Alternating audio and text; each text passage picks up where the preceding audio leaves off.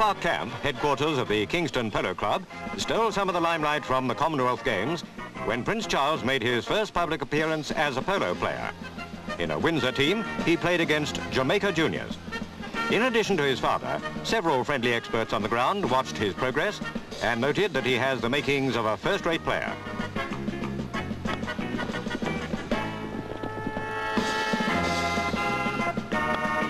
To the delight of everybody, the heir to the throne shaped excellently. The Duke and his team took on Kingston in the first of a five-match series, played while the Commonwealth Games were in progress. As he often does at home, Prince Philip played under the eyes of Prince Charles and Princess Anne.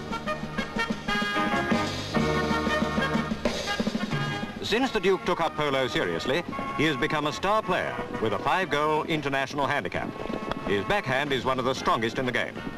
Windsor proved more than a match for Kingston. Scored now one of the goals that brought them victory. The match was a pleasant interlude while the serious business of the Commonwealth Games went on elsewhere.